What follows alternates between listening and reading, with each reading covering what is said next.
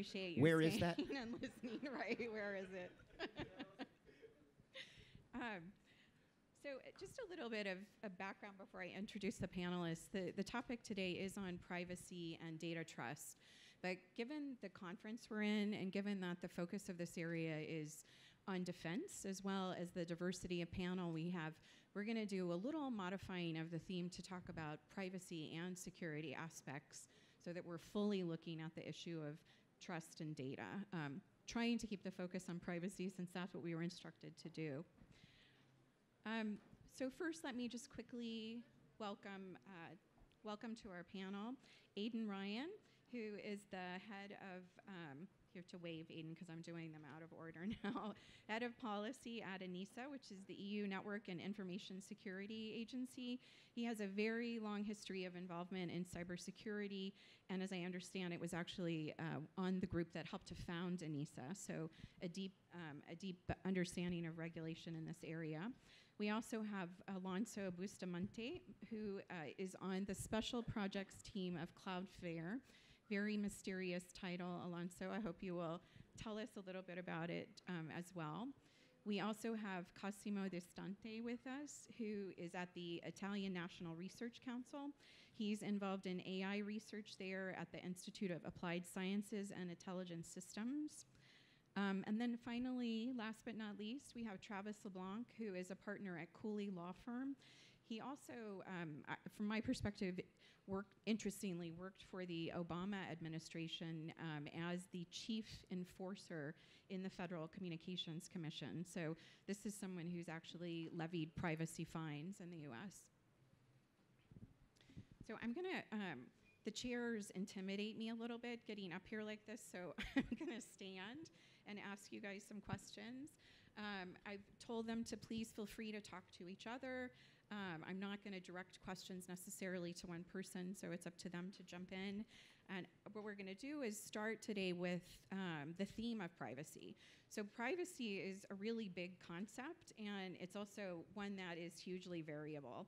Um, no two people talk about this in the same way. It varies based on your culture, it varies based on your personal experiences, it varies based on the data in question or the transaction at the moment. So, my simple question to the panel is how do you define privacy, and how can we regulate it or help deal with it if the definitions are so varied? Who wants to start? I will start. Okay, thank you. Well, I have my own definition of privacy. Uh, from the ethical point of view, I would say it's uh, the boundaries that define uh, a physical space or data of an individual who owns the physical space and the data, who, who doesn't want to disclose. Uh, well, of course, uh, if uh, he has to disclose by law, then he has to do that. But from the ethical point of view, I would define like this kind of boundaries. Thank you. Again, taking a personal perspective of privacy and uh, trying to put a definition on it, I think it is anything and any piece of information that captures who we are, what we do, what we believe, and what we think. So this is a very wide definition that encompasses virtually every aspect of our lives, be it in the real world or be it in the digital world. And for me, privacy is trying to control and know where that information is and what it's being used for. And I, by the way, I'll just say I think that your your what we think point is really interesting. I heard um, the CEO of Figleaf, which is a company that works specifically on privacy technology, define privacy in terms of our humanity. So this idea of thought, I think, is really interesting. So I'm Thank you. Um, I'm here representing Cloudflare, and for those of you that might not know Cloudflare, essentially we are a large distributed global network. What we do, you know, in very simple terms, is we're moving data from point A to point B. Um, whether it's, you know, a new site in Tokyo trying to deliver data to this, you know, to your mobile phone right here, but essentially we're moving point from point A to point B. So for us, privacy essentially is being able to move that data from a source all the way to its user and making sure that that data gets there safely and that there's only two people in that transaction and that everybody who's in between that transaction is actually who they say they are. as the final person, I will say that I agree with everyone on this concept of privacy. I think that privacy is something that there is no one definition for. Uh, it is a concept that is not static, it is inherently dynamic, and I think it's important for us to recognize it is always changing. What we think of as being relevant for privacy today is a function of the way that that information is used, the technology that we have available to us, and the societal norms that we all live in. Who would have thought that uh, 10 years ago, the kind of information that one might write in a diary that as only intended for that person might be shared on a social platform to all of our friends? Or, moreover, many times we may want to share information through a social media platform only to those people that are connections with us or our friends, and we still consider that private because it's within the domain of people that we control and we've chosen for. And so, what I think is important about privacy is to recognize that it is going to be societal, it is going to be individual uh, in nature, and also it is something that is going to change, both today and into the future.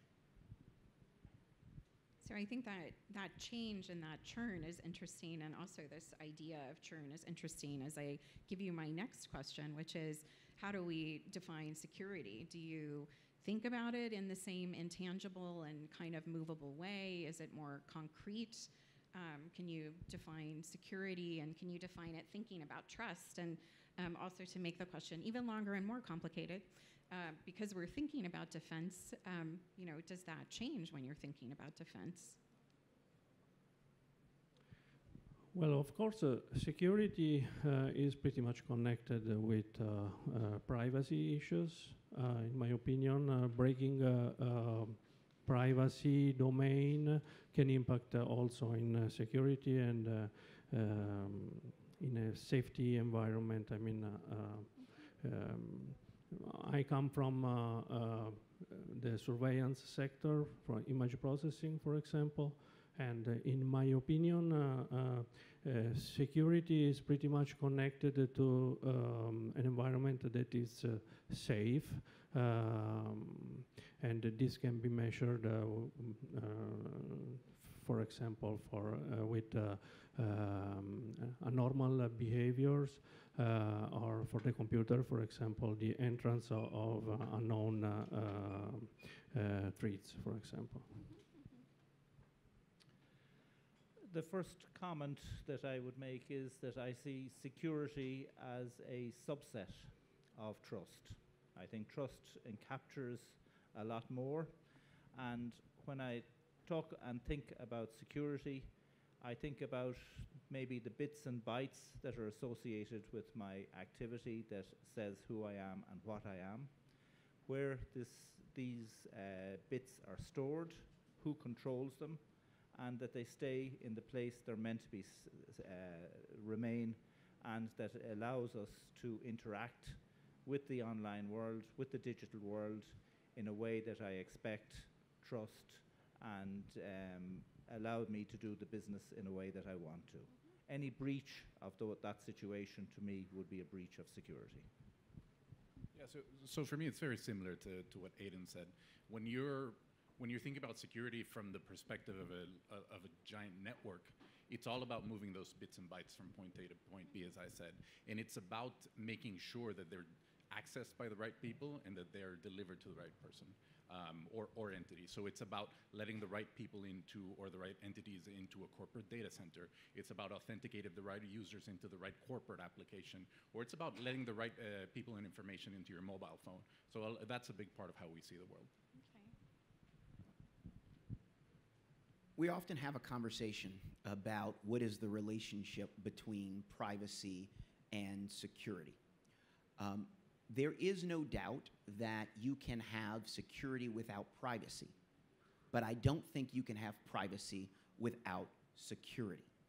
And what I mean by that is inherent in the concept of privacy is a notion of confidentiality, is a notion of control. It is a notion that the information is contained. And so while privacy is a subset of security, right? You can think of lots of security issues that come up where it doesn't involve privacy um, at all. For example, um, losing uh, a laptop that did not have anyone's personal data on it, right? That's a security issue, but it's not really a privacy issue. And I agree with uh, Aidan, I think, who said that above that all is trust.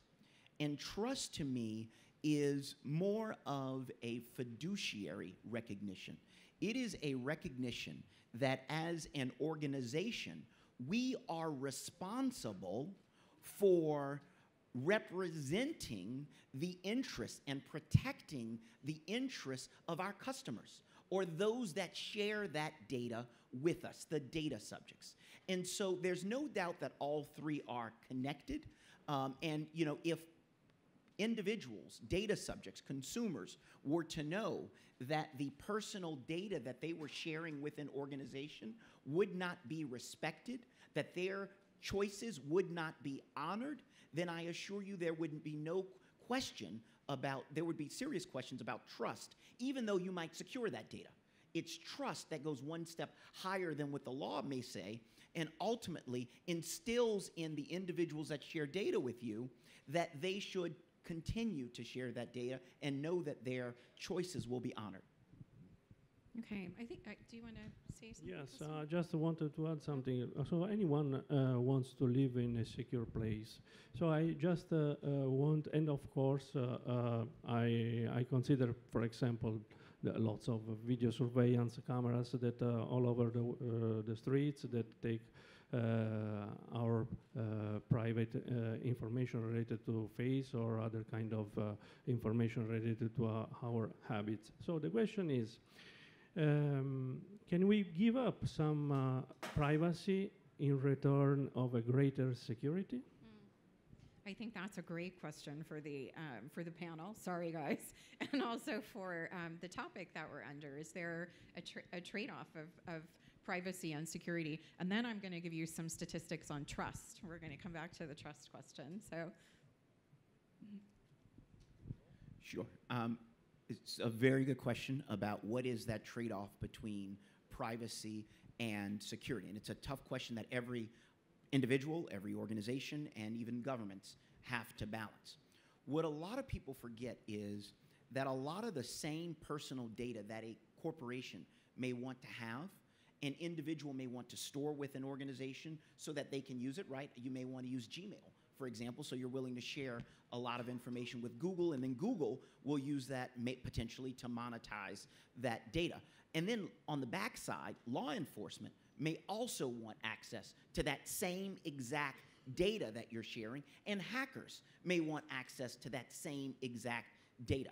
And so you have what I think of as like this four legged stool of the bad actors, of law enforcement, of individuals and consumers, and the company all wanting the exact same information. And for that stool to stand up, it has to have a certain balance that is there. And so the question we ask ourselves is how much of our privacy are we willing to give up for more security? And that was an easy conversation to have in a world where, in a, in a, in a digital world, where most of us used our electronic devices primarily for entertainment or to make our lives more convenient, right? To make restaurant reservations, you know, on demand or to make airline reservations. But we are moving into a connected world now where the devices that are collecting and storing information about us may have real impacts on our lives here. Example, connected cars or connected medical devices that are in us. So they're collecting all this information and that's that is one thing, but if those devices are not secure, then lives really are at risk.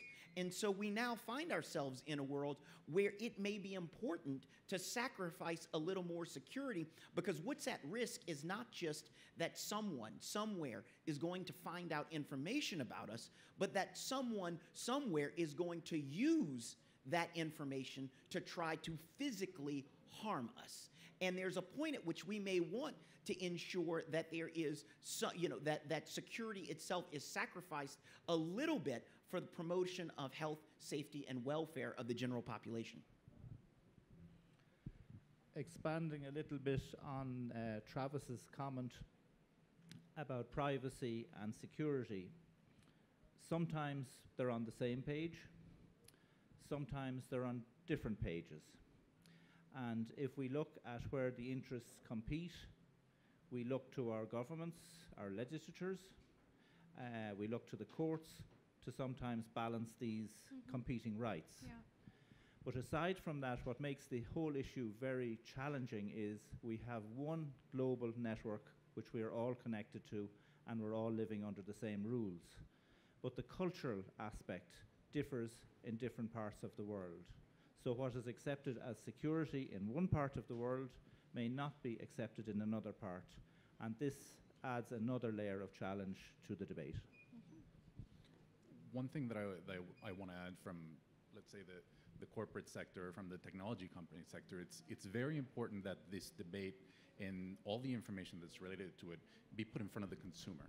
The consumer needs to understand and know what's happening with their data from, from the point of view of who they're handing it over to.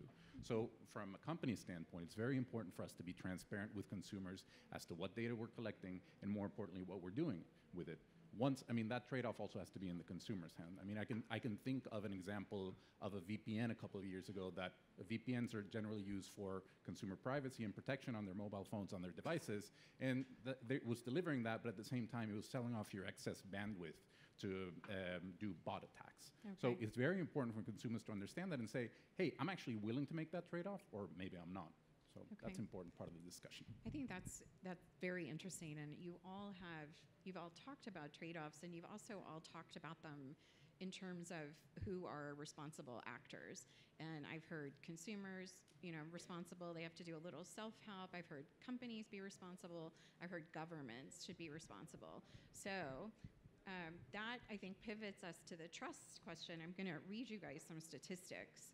So um, Edelman does something called a trust barometer. They say across the world, this is from 2018, across the world, trust in technology declined among the informed public. I, I don't know who the informed public is, but it's the informed public here. From the US, it dropped 19 points. In Hong Kong, it dropped 14 points. In Germany, it dropped 9 points, and mind you, that's around the time of GDPR. In France, it dropped 18 points, all overall showing a drop in 16 of 28 markets surveyed for trust in technology. At the same time, um, they say that tech is not actively building trust, whether it is heightening concerns over how consumer data is handled, minus 18 points, or increased doubt as to whether tech companies are adequately transparent in how they operate, minus 15 points. Technology is trending downwards in key behaviors. The other interesting thing is that Edelman looks at trust in government. So, one of the entities that we turn to to help in this process. And there they say one third of Americans now, tr- um now trust their government uh, less than they did the year before, 14 percentage points down. And according to the OECD, only 38% of people in OECD countries say they trust their governments. So there's a disconnect between citizens and their elected representatives. So how did we, I think is a, a big question, how did we get to this trust deficit and what can we do to fix it? Uh, maybe I'll, I'll kick off. The statistics, I haven't seen them before, but they're not surprising. Um, again, I, just because you say the trust in Germany goes down X percent, uh, because the network is ubiquitous, I don't think it necessarily reflects on any activity in that particular country. But how often have we picked up the newspapers or turned on the radio, television, or gone online to look at news items where we have seen the latest breach? These breaches have been hotels, they've been social media, and the scales have been huge. We've been talking about millions. It's, it's not just uh, small breaches. And it raises the question then is your credit card safe? Should I change it? Do I need to change passwords? And we often get emails saying, please change your password uh, just in case. But it's the scale and the frequency of these large compromises. And while the incidents I have given have not been maybe particularly serious, we have seen examples, um, I think, in California of medical records uh, being released. And of course, that touches everybody. Nobody would want their medical records to be Right. uh, released. And uh, these type of stories carry a lot of weight, and the building of trust takes time. So it's, it is the breaches. It's kind of the nature of technology and this, this churn where we're constantly being challenged. That's one aspect. Okay. yes. That's interesting. I think that that is, I definitely agree that that is one concern. I think what I heard from those statistics as well were not just that it is trust in tech that is uh, uh, on the downturn, it's also that it's trust in governments. Um, and I suspect that it's also just trust in institutions.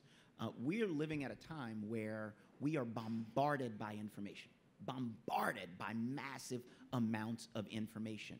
And we know that a lot of that information is not true. If you just listen to the last couple sessions before us about misinformation campaigns, it is obvious that it is that there are individuals and nation states and organizations that are dead set on injecting malicious, deceptive information into the stream of, uh, of, of information that we're all reviewing. And when you're in this world where you can't distinguish between what's true and what's not true, it becomes very difficult to know what you should put your trust in. And I think that's where we are these days is that the, the amount of information that most people consume on social media and particularly and through the internet, those are like the two primary ways that a lot of people are developing information at a time when we're also learning that you can kind of choose your own adventure through the internet.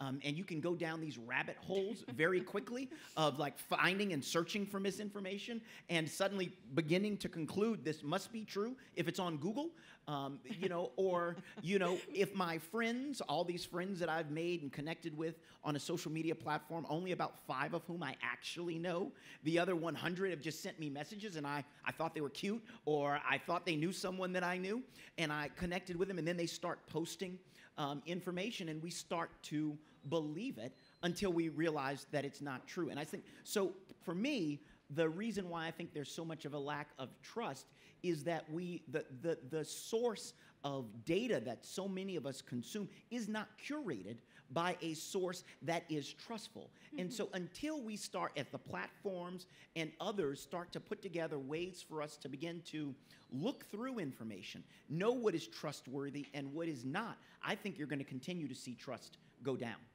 Okay. Do you, um, Al- Alonso, I'm, I'm interested in hearing from you not only in the reasons why, but also how do you recapture it? Because obviously, you know, it's not only important for institutions and democracy; it's also important from a um, a business perspective, right? If you're if you don't have the trust of consumers, they're going to go look elsewhere, or they're just going to be unhappy. So I, I think the flip side of those stats is that there's increased interest from the public and from consumers in privacy and protection. Uh, I know you and I were talking about it last week. Uh, discussed that we were watching the uh, the latest Game of Thrones episode, and there was an Apple ad where the entire branding was around being a privacy first Yes. brand, which is pretty interesting that the largest consumer electronics brand in the world is pitching their privacy aspect. So the only way, the only reason you do this is if you see increased readings that your that your consumers are interested in this. From from our perspective, we also see that increased consumer interest in in privacy, in trust. Um, you know, the decreasing trust in governments, decreasing trust in technology companies. A means that you know, as technology companies, like I mentioned before, we need to be very, very transparent in, as to what we do with data. But we also need to provide some solutions for consumers.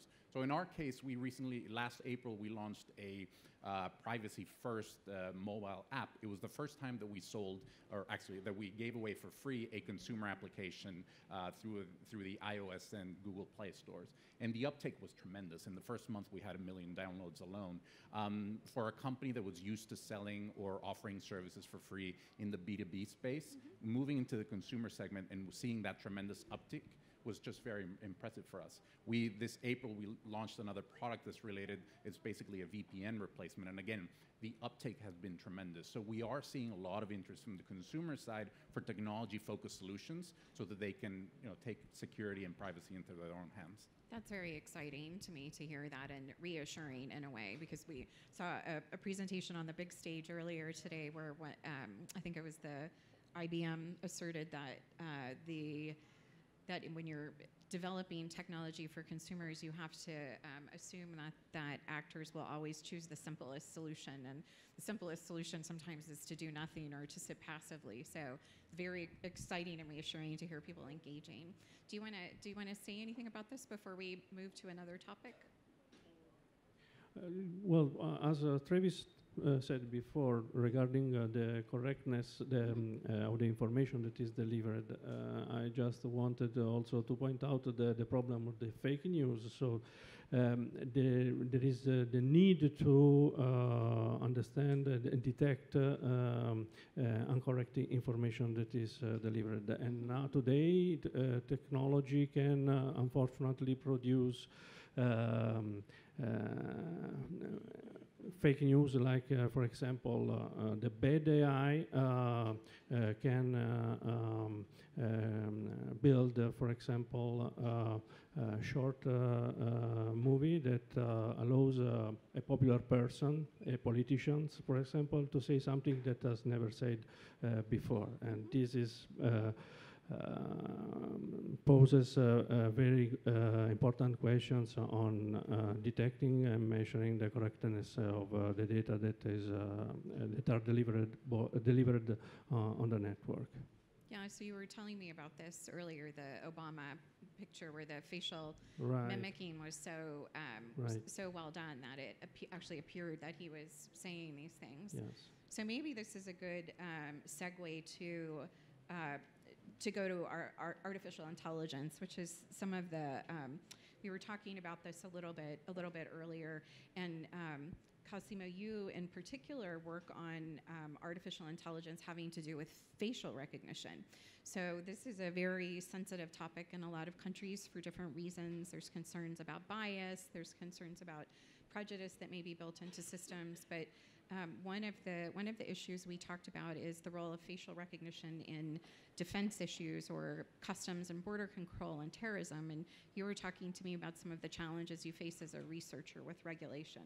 Yeah, the challenge is uh, uh, building uh, all intelligent uh, systems that are able to prevent or detect uh, on time uh, critical situations.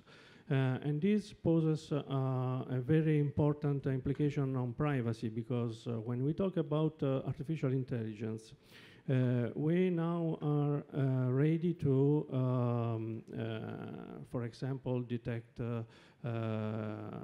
fighting on, on, on, the streets or other kind of Ill illegal loitering or other kind of illegal behaviors. But to, to do that, we need to collect uh, lots of data because uh, as uh, the word uh, AI, artificial intelligence, uh, has gone uh, a breakthrough in 2012 because the um, accuracy of the system in detecting and recognizing faces or uh, um, human behaviors or other kind of uh, uh, things related to pattern recognition has received a, great interest because of the highest accuracy of this system because it's um, essentially a system that behaves like a human uh, intelligence, mimic the human intelligence. And this thanks also to the um, new products uh, uh, that have been put on the market that allows to, to do very complex uh, uh, computations. So for, to, to build this system, to train this uh, system, there is a need to collect uh, Uh, and to annotate lots of data. And uh, uh, in my field, uh, which is uh, computer vision, of course, we deal with images where private data are in the images, and this poses lots of privacy issues.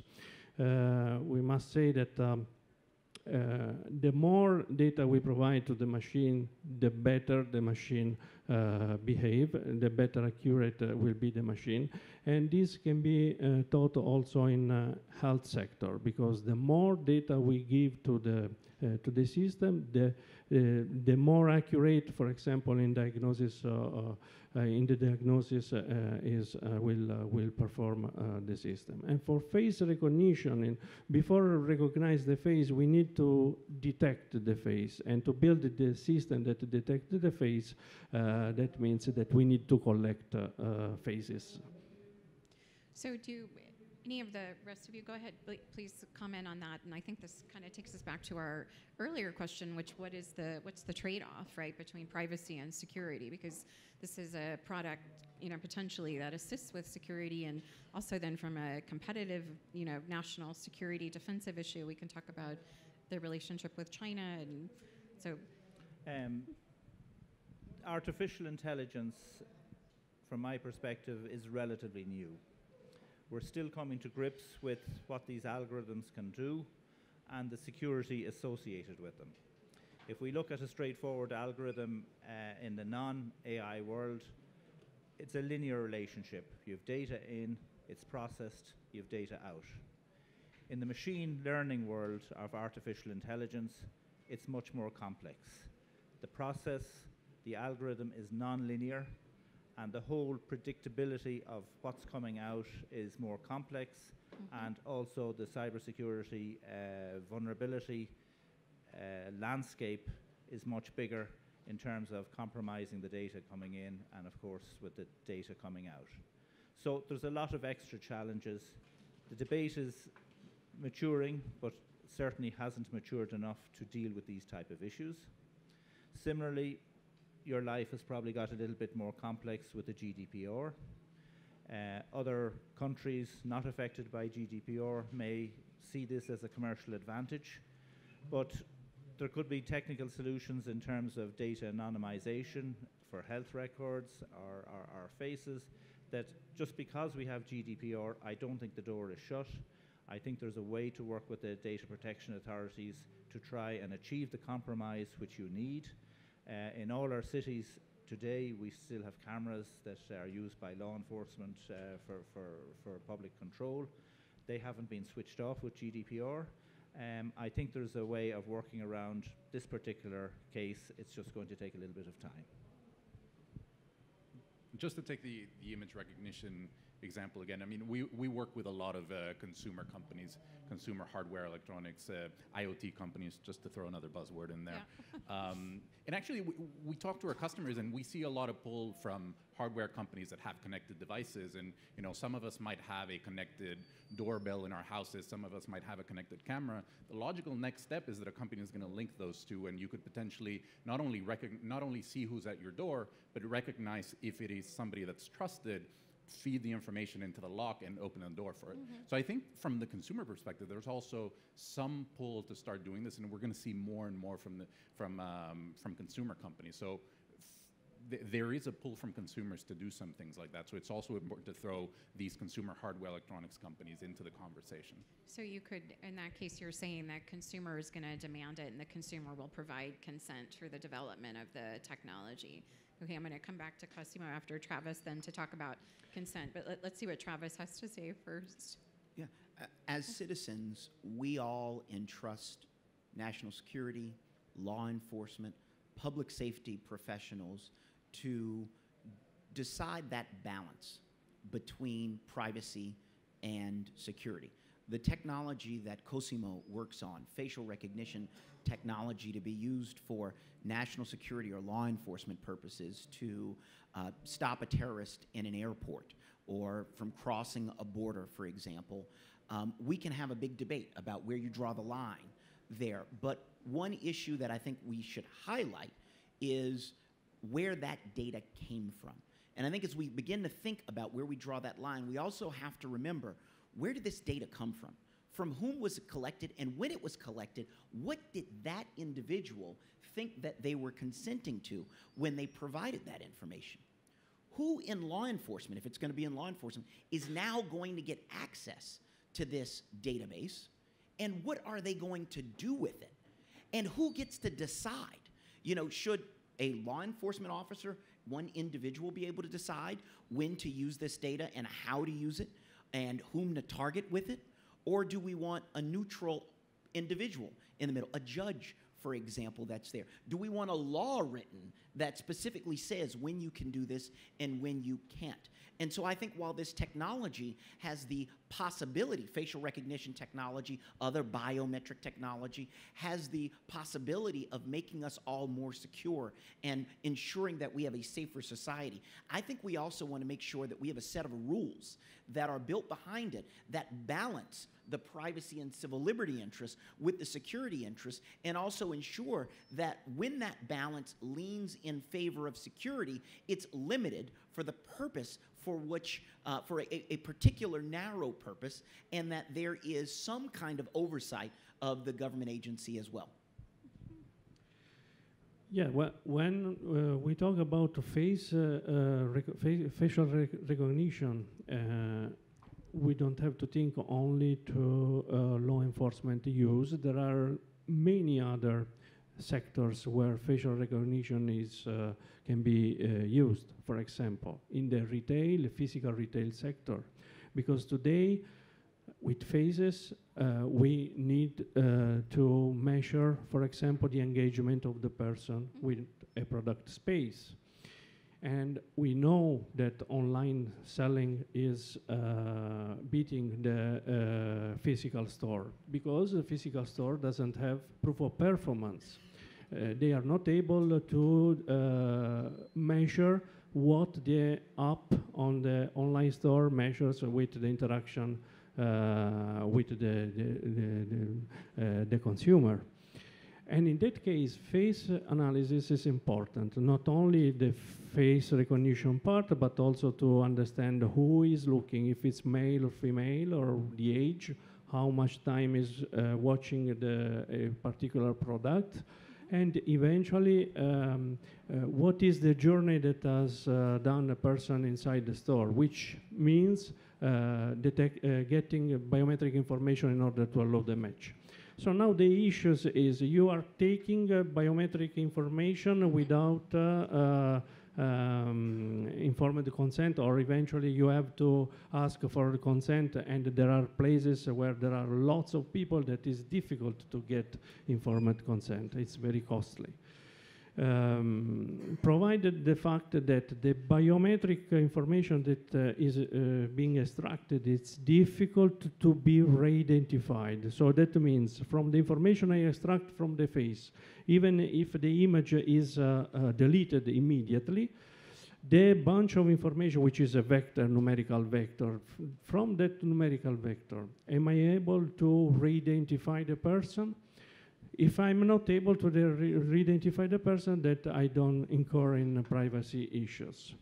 Uh, but mm, today, the GDPR uh, regulation doesn't allow me to grab uh, this biometric information, even if uh, I cannot re-identify the, the, the person. So, the, and in fact, the GDPR for, for us in our um, not in the research sector, but in the industry sector, for those startups who wants to uh, bi- uh, um, build new uh, products based on AI technologies, they are struggling with uh, uh, the regulations. Okay, so there may be some competitive issues here for European researchers, is what you're saying. Yes. Does anybody? No? Okay. So I- I think we'll, um, let's pivot a little bit then um, to, um, Aidan, a conversation you and, you and I had about the fact that a lot of the solutions that we're developing around privacy and security were kind of conceived in the, the, the world of internet-based um, companies and internet-based technology, but actually there's a lot of computer systems that are networked without using um, computers these days, or we have IoT devices. 5G is evolving. So tell me a little bit about um, emerging privacy and security threats you see, and the types of solutions that might exist. Um, from a telecoms perspective, uh, we see data transformation and business transformation uh, taking place with the greater use of the cloud. Um, we see Internet of Things producing a huge amount of data. And um, if I go back a number of years to uh, the early 2000s, one of the surprising events was that there was transatlantic fibre cable companies that were going bust. Um, there was no envisaged market, and those people who were maybe just a little bit ahead of their time uh, didn't see and wasn't, weren't able to justify the finance to keep those circuits going.